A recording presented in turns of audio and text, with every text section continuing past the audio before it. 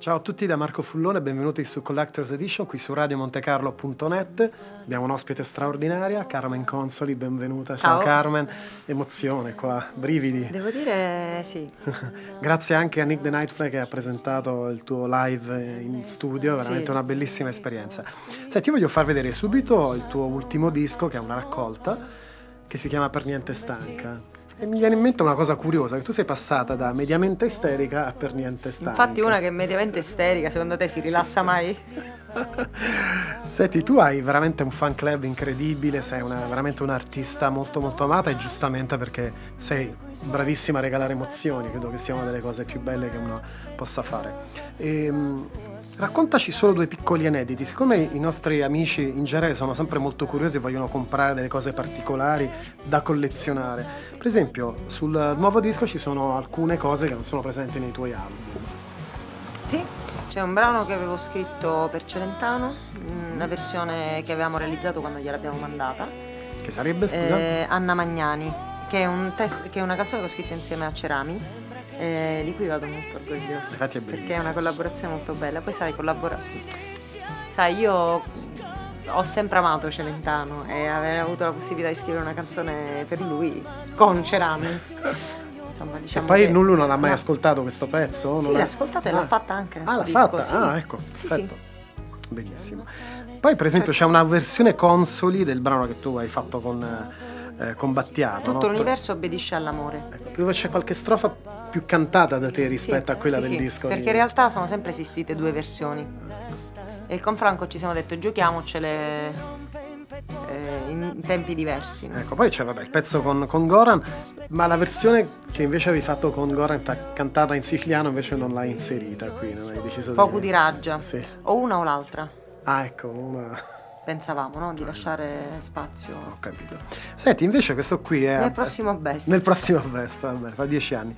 Questo invece eh, diciamo era il decennale eh, diciamo dalla, dalla, realizzazione del tuo album nel 1998, è stato ristampato nel 2008 e credo che sia anche il primo disco deluxe edition mai realizzato in Italia, così mi hanno detto fonti molto autorevoli. Ecco, di questo album cos'è che ricordi in modo particolare? Io mh, mm, ricordo questa, questo cantinone di Francesco Virlinzi, era la sua casa a San Gregorio, il mio primo produttore, e amava invitare gli artisti in questa casa di campagna bellissima che si affacciava sul mare, per cui gli artisti avevano modo di ispirarsi, era una, una specie di factory. E, ehm, ed del, del, del, si creavano dei veri e propri laboratori.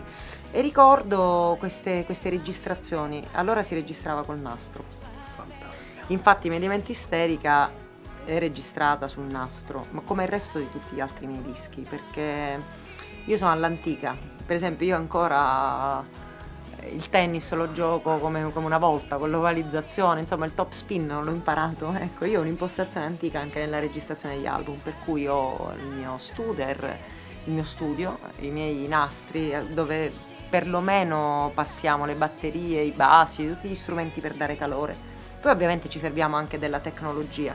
Questo disco aveva questa particolarità, ehm, una band giovane, la mia, che è ancora la band che mi porto dietro, eh, quindi mh, dopo dieci anni celebra anche la storia di amicizia tra me e i ragazzi che fanno parte della mia storia, della mia, del mio gruppo, perché io senza di loro non sarei qua oggi.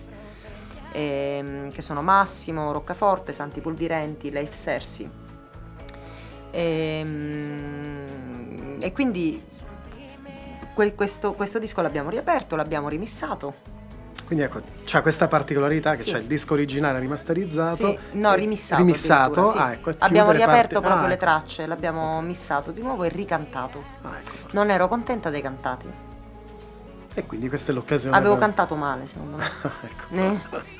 Me la sono voluta, siccome ancora è attuale questo disco per me, eh, mi sono voluta togliere questo piacere eh, eh, di, di, cantarlo. Beh, cioè, ci piace conoscere questa parte sì. analogica anche sì, della, sì. della, della tua carriera che è veramente straordinaria. Va bene, io ti ringrazio. Grazie a te. È stata come sempre una grande emozione averti. Alla prossima. Ciao. Alla prossima. Ciao.